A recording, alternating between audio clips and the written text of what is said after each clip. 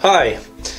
You know, there's this thing that enthusiasts like to talk about quite a bit when it comes to overclocking and cooling, and that is the balance between noise and cooling efficiency. And this is something that I've always played with a fair amount and trying to find the right balance between acceptable noise on and off gaming or just regular desktop applications and yet having efficient cooling.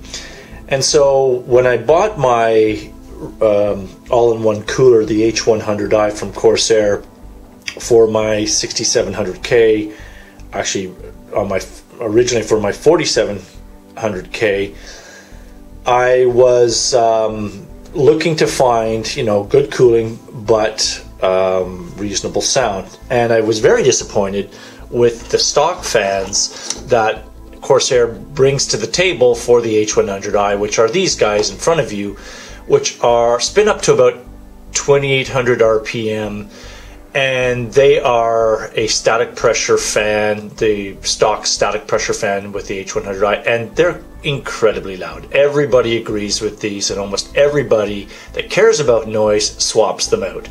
And that's, uh, you know, a bit of a short sight uh, on uh, Corsair side because that costs us extra money uh, in the in the long run for something that should come with half decently um, fans or at least uh, you know not as loud. And, and, the issue is that of course you can control these.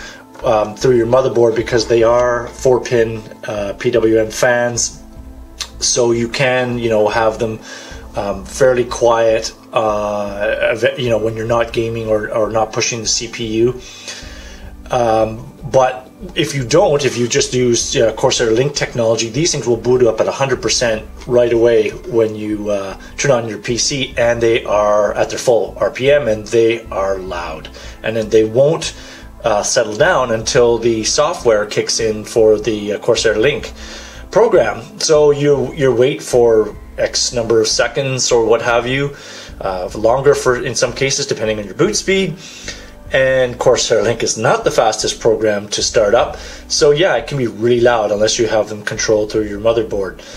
So uh, yeah, I replaced those right away. so the first thing I did was I went over to the uh, SP120 Silent Edition fans, and they spin up to 1500 or 1450 RPM. That's what the box says. 1450 and 23 dBA, and uh, they are again a good static pressure fan. But um, I found that they don't spin up quite to 1450, about 1401, and then 1350 or 1380 on the other one. So not getting even my full 1450 but the issue was for me i was still when i do video encoding so that's a very cpu intensive task and it's probably the most cpu intensive task that i do on my pc the temperatures were getting into the 80s and sometimes 90, uh, which is a bit hot for me. And uh, I wanted to see if I could improve that. Now, it's probably okay if you don't do a lot of video encoding. Like I don't do a lot; it's periodic, but uh, I wouldn't want to sustain that temperature on a on a long term basis. And even periodically, I would rather have my temperatures in the lower 80s for this, or in the 70s for uh, video encoding. And certainly with gaming, it would be a fair bit lower because um, it doesn't use the CPU as much. So um, with that in mind, I've, I've I've picked up these nice fans. Um, these are the Noctua NF F12 Industrial PPC. Um, and this is PPC stands for, I believe, Protected Performance Cooling. And these are relatively recent. I think they're maybe a year old now maybe even two years old. But um, I haven't seen a lot of reviews of them and compared them to the Corsair uh, 120 Silence.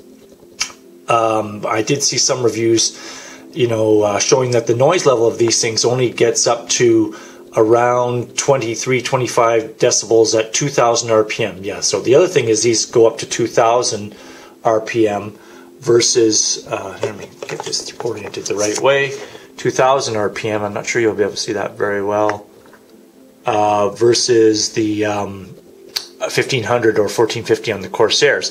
Anyway, they are a very well made fan. They're quite heavy, in fact, and people regard this fan as one of the best fans you can put on uh, for static pressure cooling, even though they're not technically designed for static pressure. They're not an SP version, but they perform very well anyway. And the industrial version just means that they're really designed for heavier loads uh, and servers, and they have uh, you know anti-dust uh, technology built into them, and they have the but they still have the bearing technology, um, SSO2 bearing technology that the regular NF F12s have, and in all other respects are very similar with the nice rubber removable rubber grommets or uh, anti-vibration dampers. And um, but they just spin up to 2000, and I wanted something. This is perfect. I wanted a quiet fan that spins up a little bit faster than 1500 RPM, and uh, but not so high as 2800, because then you get into, regardless of your fan technology, still gets louder than I'd like. So 2000 is about the ideal level for me. So I'm, I'm trying this fan. And, uh, but keep in mind, this is not a cheap fan. This is $80. Oh, sorry, $40 Canadian with taxes in. So $80 for two. And the Corsairs are half that cost for two. Come in a dual pack, and they are roughly around, um, actually, they're only about 30 bucks for two, I should say. So less than half the cost. So less uh, about less than the cost of one of these fans. So keep that in mind. They're they're not uh, these are not cheap. Uh, these are relatively cheap, but we'll see the performance delta. And um, I'm hoping that my money was well spent. And all reports are that that people uh, are happy with the Noctuas. The other fans I have in the case, just for reference, are Silent Edition 140s. I replaced the uh, intake fans in the front of my 780T, Corsair 780T, with a Silent uh, Edition. And on the floor of the case, I have a uh, 120 Silent Edition from Corsair as well. And so the, these these guys for only go up to 1200, and these guys only go, they go up to 1500 and then at the exhausting everything at the back is I don't have the fan in the case is a SickleFlow 120 uh, green LED, uh, 2000 RPM, which is the loudest fan in the case, as you can imagine, but also is a very efficient exhauster for the, the hot air at the top of the case. So that's I've kept it in, and it's a subtle green light, which I like. So let's do some benchmarks comparing the SP120 Silent Edition or Quiet Edition with the uh, Noctuas. And I'll do some video encoding and I'll do some um, Tomb Raider benchmark just as a as a graphically intense um, game as well as some CPU usage. So the fans are at, the uh, Noctua fans are at full speed uh, in the BIOS right now just for some noise comparisons. Yeah, they're fairly loud. Certainly not as loud as the um, they're stock fans, but you do hear them. And uh, yeah, okay, not too bad though. Not not really like a jet engine, but they're loud enough. If we go uh, and apply a, my manual, they obviously you don't hear them anymore. I have this manual configuration in my BIOS so they basically ramp up to full speed at about 75 degrees Celsius. So we might hear them in the testing. And if we go back and hear here, they're really quite quiet right now. And they're spinning at about, um, I think about six, 700 RPM yeah, 600 RPM, 632, 646, so that's pretty good. There's not much difference between the two fans. Okay, we'll keep that my custom profile.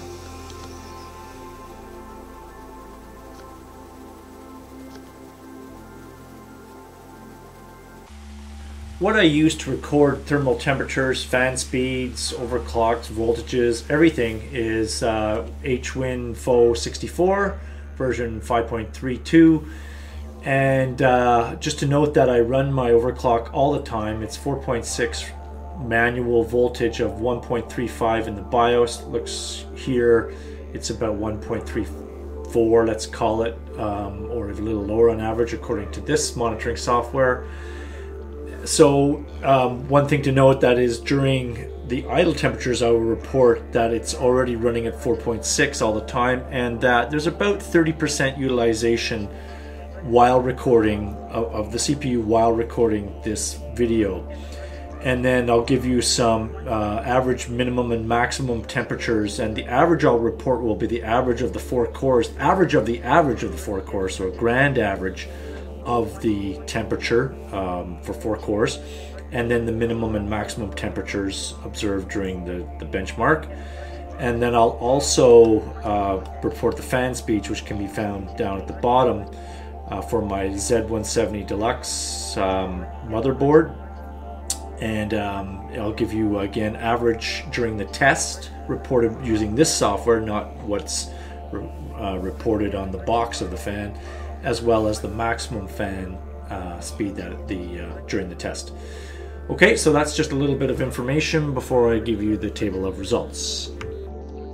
Okay, so we'll run Rise of the Tomb Raider benchmark. Just to note that I do overclock my EVGA 980SCs uh, at about 100 on the core clock and 50 on the memory. Not a huge overclock, but they're already pushing up. Um, during the boost clock, they get up to about 1450 already, so that's pretty good. They get fairly warm, but I have um, the fan curves uh, adjusted to keep them relatively cool, so the fans are kind of loud at times, but generally don't disturb me during the games. Anyway, let's see how that uh, affects the temperatures. Okay, so what do the results tell us, uh, both for the thermals and the fan speeds? Um, well, if we look at the Corsair um, SP120s in various situations, idle encoding and the Tomb Raider benchmark versus the Noctuas in the same scenarios, uh, we can generally see that the fans are uh, spinning a little bit more in most ca- in in the intensive tasks than the um, Corsairs. Uh, in, in, fact, there's a quite you know about 100 RPM difference here. There is about 200 RPM difference when we're doing the encoding with the Noctua. And the temperature delta of the intensive tasks between the two is not much. 62 versus 64. The minimum's five degrees. The maximum two degrees. So, and then with the Tomb Raider benchmark, seven degrees here, that's that's substantial. Um, only one degree difference there, and about three degree difference there for the, the maximum temperatures. So um, again, the maximum temperatures are not sustained for very long, so the average is really what we're looking for here. So a couple of degrees improvement in CPU intensive tasks, better improvement in gaming, and average is again, uh, sorry, idle is about three uh, degrees on the average with some, uh, again, a, a, couple of degrees difference between the min and maxes at idle. So overall, I think it can be said that um, you get a couple of degrees uh, different improved cooling with a slightly lower RPM uh, on the fan. And what can we conclude from that then? Well, I would say that the uh, Noctua does cool the H100i more efficiently than the SP120s generally at lower speeds in CPU intensive tasks and gaming, but only by a couple of degrees on average, um, and in the min maxes too. So, not a huge performance increase, but some. But here's an important point a more aggressive fan curve could be used to improve the cooling with the NFF 12s because with the CF, uh, sorry, the SP 120s I was uh, often at the max um, RPM um, and couldn't go any uh, any faster cool. And I can go up to 2,000. It's rather noisy, but I could do that if I wanted to. I in the, at the bottom of the at the end of the day, bottom of the bucket if you want. Either fan is good enough for cooling the H100i in most tasks. I think the Noctua offers more headroom for very intensive tasks like video encoding, so keep that in mind if you do do video encoding it is one of the most intensive tasks uh, on the CPU.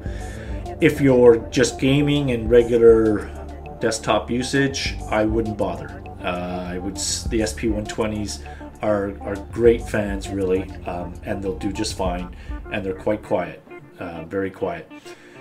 And really, um, the uh, the Noctuas I bought for the CPU intensive tasks, uh, video encoding tasks in the end, it's an expensive upgrade, uh, upgrade for marginal performance. Um, So yeah, only do this um, if you really need to for uh, more continuous video encoding applications or other CPU intensive applications. That's it. Thanks for tuning in. I uh, hope you enjoyed this, in the end, rather lengthy comparison, but I hope it was useful for you. If you have any comments, please leave them and I will endeavor to answer them. Thanks very much.